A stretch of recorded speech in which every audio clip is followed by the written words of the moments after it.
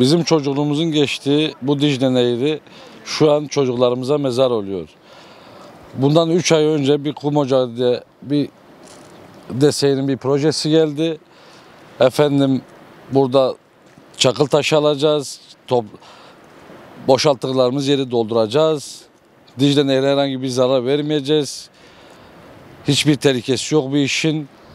Biz de kabul etmedik ama en son devletindir diye sesimizi çıkaramadık. Kaymakama çıktık, valiye çıktık, karakol komutanına çıktık. Adamlar dedi şu an devletin projesi biz bir şey yapamıyoruz. E, en son bundan iki gün üç gün önce bir tane çocuğumuzu buraya kurban verdik. Çalışma yeri bir kilometre ilerisi gelmiş bir kilometre çalışma sahasının dışına çıkmış. Biz bu kum ocağının kapatılmasını istiyoruz. bize bu alanın ıslah edileceği, düzgün bir şekilde çalışılacağı, e, bekçilerin olacağı, e, uyarı levhaların olacağı şekilde bize o şekilde çalışacağız. Köylüye herhangi bir zarar verilmeyecek. Köylünün e, menfaatinin dışına çıkılmayacak. O şekilde bize söz verildi. Bundan yaklaşık iki ay önce burada can kaybı olabileceği, canımızın güvende olmadığını, sesten dolayı sıkıntı yaşadığımızı, saatlerden dolayı sıkıntı yaşadığımızı bunları dilekçede belirttim. Yaklaşık iki ay önce de e, bunu DSİ'nin yetkili makam mercilerine verdim. Benim e, dilekçeden herhangi bir e, cevap alamadım. Dicle'nin bütün doğasını, bütün yeşillik alanlarını tahrip edilmektedir. Ee, bunu tapulamaya e, taşımayı bize söylediler. Şimdi e, günde 100-150 kamyon taşınıyor. Her taraf tahrip oluyor. Biz buna karşıyız. Bütün yetkililere sesleniyoruz. Bunu bir an önce el atsınlar. Yoksa köyümüzde ne huzurumuz kaldı, hayvanlarımız otlak yerlerde kalmadı. Ee, bunun bir çaresini mutlaka e, kapanması için ne gerekiyorsa yapılmasını arz ediyoruz. Hayvanlarımız var, insanlarımız var, çocuklarımız var, tehlike altındadır. Bunu bir an önce kapatılmasını istiyor. Toz dumanı köyün üzerine basıyor, e, geçilmemesi gereken yere geçiliyor. E, bizim için tehlikeli bir durum. O açıdan mış olan bu tahribatları düzeltsinler, bize set yapılsın, e, kendi alanında çalışabilir fakat bizim setimiz yapılmadan biz kabul etmiyoruz. Yani yarın diyelim burayı aldık zaman yarın tekrar Dicle'nin Kösel'e girmemesi kimse garantisini veremez.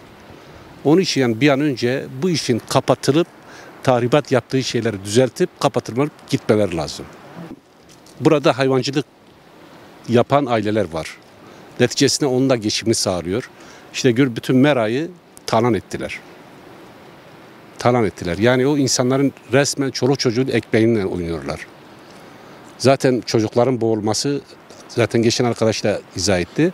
Üç tane insan bu komucanın yüzünden şu anda vefat etti. İki tane kazaya sebep oldu. Birisi Dicle'de boğuldu. Yani yarın bir üç tane, bir on tane olmayacağı garantisi kimse veremez. Jandarma geldikten sonra biz kaymakamlığa gittik. Kaymakamlık desenin projesidir. Burada bir çalışma yapılacak ve buradan çakıl alınacak. Kral Kızı Barajı kanalları için kullanılacak. Tamam biz dedik öyleyse tamam. Ama Dicle'ye zarar vermemek şartıyla DSİ bize bunu dile getirdi. Ben Dicle havzasını genişleteceğim. Genişlettikten sonra da e, bütün kayalarla set yapacağım ve piknik alanına dönüştürüp Köselli halkı bize dua edecek. Ve DSİ bu 7 ay zarfında hiç buraya uğramadı, hiçbir çalışma yapmadı. Sonuç e, gelinen nokta budur ve ben savcılığa da dün değil evvelsi gün ifade verdim. DSİ'nin acilen kamyonlarını, kepçelerini getirip bu doğayı tekrar düzeltmesini talep ettim. Art, herhalde bir yağcılar vardır. O da gece bekçisi değildir. E bizi jandarma, biz defalarca buraya geldik. Jandarma geldi. DSİ'nin projesidir. Kimse dokunamaz. Dokundu mu DSİ şikayetçi olursa ben onu tutuklarım, cezaevine atarım.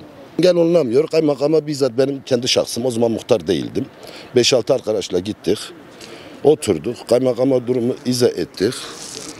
Biz daha önce bu sıkıntıları yaşadık. Bundan sonra olmasın. Kaymakam Enver Bey'di.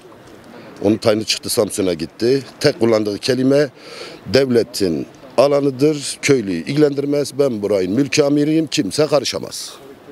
Biz de çıktık geldik köy. Durum bu. Seyiden bütün köy adına şu an konuşuyorum. Acilen gelsin bu çukurları kapatsın. Buraya güzelce bir set yapsın. E, sel taşkınlarından e, köy korusun. Burası yani bak şu anda orada kimse yok yani. Şu anda yetkililerde o mesela şirketin sahibi yetkililerden hiçbiri burada yok. Bir leva var mı? Normalde dünyada yani hep hepimiz görüyoruz aşağı yukarı. İzliyoruz, görüyoruz. Kum ocakları veya maden ocakları etrafında hepsi güvenlik sağlanıyor, bekçi oluyor, ekstra yani yani çok yani kapsamlı bir şey oluyor ki orada herhangi bir vaka bir şey olmasın herhangi bir sıkıntı yaşamasın. Bir tane hayvan bile yani telef olmasın. Ama buradaki maalesef bakıyorsun yani dere nereye gelmiş? Su nereye gelmiş? Buradaki zaten biz yani başımıza gelen olan artık gelmiş, olan olmuş. Biz ne kadar desek ama yani bir daha olmasın. Bir daha başka çocuğu, başka kimsenin annesi babası alamasın. Dicle kenarında oyunlar oynardık, yüzmeye gelirdik, balık yakalardık. E, Zaten bizim e, Dicle Nehri'nin kenarında normal ağaçlık alanlar vardı. Gölgelik alan. İnsanlar korkudan nehrin kenarına bile gelemiyor. E, bundan dolayı biz de bu kum ocalarının kapatılmasını istiyoruz. Doğal hakkımızdır bu. Doğamıza, çevremize zarar vermesine karşıyız.